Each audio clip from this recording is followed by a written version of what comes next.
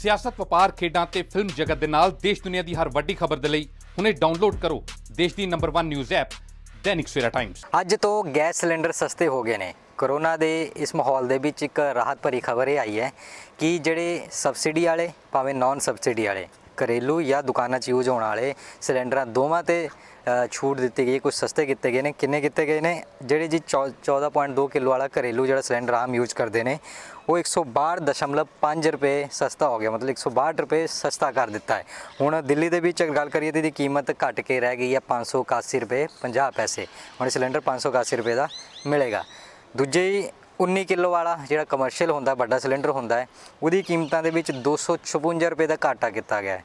ਉਹ ਹੁਣ ਕੁੱਲ ਮਿਲਾ ਕੇ ਤੁਹਾਨੂੰ ਪਏਗਾ 1029.50 ਪੈਸੇ ਦਾ ਦਿੱਲੀ ਦੇ ਵਿੱਚ ਇਹ ਸਿਲੰਡਰ ਪਏਗਾ। ਜਿੰਨੀਆਂ ਵੀ ਆਇਲ ਕੰਪਨੀਆਂ ਨੇ, ਉਹਨਾਂ ਨੇ ਇਹ ਜਾਣਕਾਰੀ ਦਿੱਤੀ ਹੈ। ਦਰਅਸਲ ਹਰ ਮਹੀਨੇ ਦੀ ਪਹਿਲੀ ਤਰੀਕ ਨੂੰ ਆਇਲ ਕੰਪਨੀਆਂ ਬਹਿ ਕੇ ਡਿਸਾਈਡ ਕਰਦੀਆਂ ਨੇ ਕਿ ਰੇਟ ਘਟਾਉਣਾ ਹੈ ਕਿ ਵਧਾਉਣਾ ਹੈ। ਇਹ ਡਿਪੈਂਡ ਕਰਦਾ ਰੇਟ ਸਾਰਾ ਡਿਪੈਂਡ ਕਰਦਾ ਦੋ ਚੀਜ਼ਾਂ ਤੇ।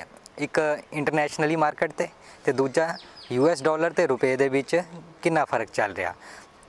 ਇੰਟਰਨੈਸ਼ਨਲੀ ਮਾਰਕੀਟ ਦੀ ਗੱਲ ਕਰੀਏ ਆਇਲ ਮਾਰਕੀਟ ਦੀ ਗੱਲ ਕਰੀਏ, ਤਾਂ ਪਿਛਲੇ ਕਾਫੀ ਦਿਨਾਂ ਤੋਂ ਜਦੋਂ ਤੋਂ ਕਰੋਨਾ ਇਹ ਚੱਲਿਆ, ਪੂਰੇ ਵਰਲਡ ਦੇ ਵਿੱਚ ਫੈਲਿਆ ਹੈ, ਉਸ ਤੋਂ ਬਾਅਦ ਤੇ ਕੱਚੇ ਤੇਲ ਦੇ ਵਿੱਚ ਲਗਾਤਾਰ ਗਿਰਾਵਟ ਆ ਰਹੀ ਹੈ। ਕੱਚੇ ਤੇਲ ਦੇ ਰੇਟ ਜਿਹੜੇ ਲਗਾਤਾਰ ਸਲੈਸ਼ ਹੋ ਰਹੇ ਨੇ, ਕਈ ਜਗ੍ਹਾ ਤਾਂ ਮਾਈਨਸ 'ਚ ਵੀ ਚਲੇ ਗਏ, ਅਮਰੀਕਾ ਵਗੈਰਾ ਦੇ ਵਿੱਚ ਫਿਰ ਦੁਬਾਰਾ ਸਟੇਬਲ ਹੋਏ। ਤਾਂ ਇਸ ਕਰਕੇ ਮਤਲਬ ਕੰਪਨੀਆਂ ਨੂੰ ਕੱਚਾ ਤੇਲ ਸਸਤਾ ਮਿਲ ਰਿਹਾ ਹੈ।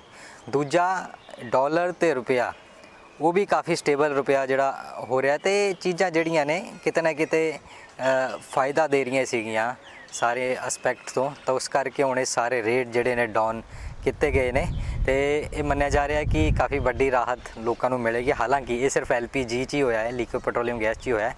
ਇਹ ਪੈਟਰੋਲ ਜਾਂ ਡੀਜ਼ਲ ਜਾਂ ਸੀ ਜਿਹੜੀ ਦੂਜੀਆਂ ਗੈਸਾਂ ਨੇ, ਉਹਨਾਂ ਦੇ ਵਿੱਚ ਸੀਐਨਜੀ ਜਾਂ ਪੀਐਨਜੀ ਉਹਨਾਂ ਦੇ ਵਿੱਚ ਹਾਲੇ ਤੱਕ ਕਿਸੇ ਵੀ ਤਰ੍ਹਾਂ ਰੇਟ ਦੀ ਗਿਰਾਵਟ ਨਹੀਂ ਹੋਈ ਹੈ, ਪਰ ਵੱਡੀ ਰਾਹਤ ਹੈ। ਬਾਕੀ ਅਲੱਗ-ਅਲੱਗ ਸਟੇਟਸ ਦੇ ਵਿੱਚ ਅਲੱਗ-ਅਲੱਗ ਜਿਹੜੇ ਰੇਟ ਨੇ, ਜਿਹੜੇ ਇਹਨਾਂ ਨੂੰ ਫ਼ਰਕ ਪਏਗਾ। ਹਾਲਾਂਕਿ ਜ਼ਿਆਦਾ ਦਾ ਫ਼ਰਕ ਨਹੀਂ ਹੁੰਦਾ 5-10 ਰੁਪਏ ਦਾ ਹੀ ਫ਼ਰਕ ਹੁੰਦਾ ਹੈ, ਪਰ ਇਹ ਕੁਛ ਨਾ ਕੁਛ ਰੇਟ ਅੱਗੇ ਪਿੱਛੇ ਸਾਰੀ ਸਟੇਟਸ ਤੇ ਹੋਣੇ ਨੇ।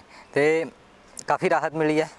ਹੁਣ ਦੇਖਣਾ ਹੈਗਾ ਕਿ ਸਟੇਬਲ ਰਹਿੰਦੀਆਂ ਨੇ ਕੰਪਨੀਆਂ ਇਹਦੇ ਤੇ ਅੱਗੇ ਕਿ ਨਹੀਂ ਕਿਉਂਕਿ ਪਿਛਲੇ ਸਾਲ ਅਗਸਤ ਮਹੀਨੇ ਦੀ ਗੱਲ ਕਰੀਏ ਤਾਂ ਉਸ ਤੋਂ ਬਾਅਦ ਲਗਾਤਾਰ ਹਰ ਮਹੀਨੇ ਦੀ ਜਦੋਂ ਪਹਿਲੀ ਤਰੀਕ ਆਉਂਦੀ ਸੀ, ਕੁਛ ਨਾ ਕੁਛ ਰੇਟ ਵੱਧਦਾ ਹੀ ਦੇਖਿਆ ਸੀ, ਘਟਦਾ ਨਹੀਂ ਦੇਖਿਆ ਸੀ ਇਸ ਵਾਰ ਰੇਟ ਘਟਦੇ ਹੋਏ ਦੇਖੇ ਗਏ ਦਿੱਲੀ ਤੋਂ ਕੈਮਰਾਮੈਨ ਲਕਸ਼ਣ ਨਾਲ ਨਿਤਿਨ ਦੀਵਾਨ, ਦੈਨਿਕ ਸਵੇਰਾ ਟੀਵੀ।